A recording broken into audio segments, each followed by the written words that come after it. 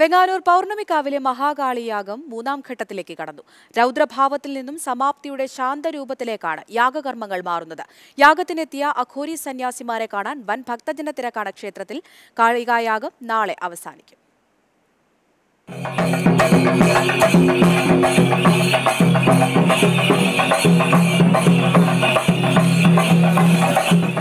ദ്രവ്യങ്ങൾ ഏറ്റുവാങ്ങി യാഗാഗ്നി ജ്വലിച്ചു.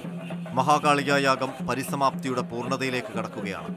പൗർണമിക്കാവിൽ യാഗപുണ്യം ഹൃദയത്തിലേറ്റ് ജ്വലിപ്പിക്കുകയാണ് ഭക്തരും. രൗദ്രഭാവത്തിൽ നിന്ന് ശാന്തരൂപത്തിലേക്ക് യാഗകർമ്മങ്ങൾ കടന്നു.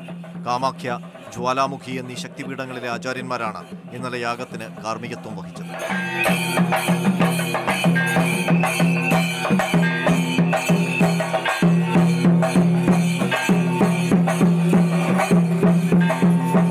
കർണാടക മധ്യപ്രദേശ് എന്നിവിടങ്ങളിൽ നിന്നും കൂടുതൽ അഘോരി സന്യാസിമാർ ഇന്നലെ യജ്ഞശാലയിലെത്തി. കാലഭൈരവ ഹവനത്തിന് നേതൃത്വം നൽകുന്നത് അഘോരിമാരാണ്.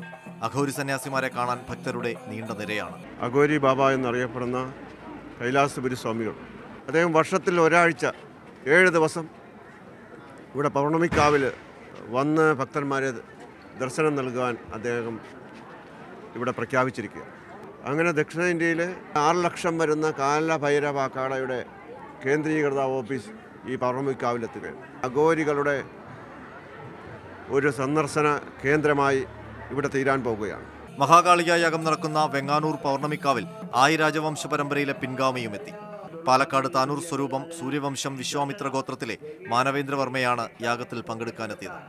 മാതൃഭൂമി ന്യൂസ് തിരുവനന്തപുരം.